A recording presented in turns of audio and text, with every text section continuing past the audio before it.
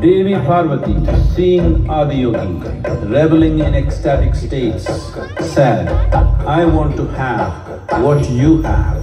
Show me the way.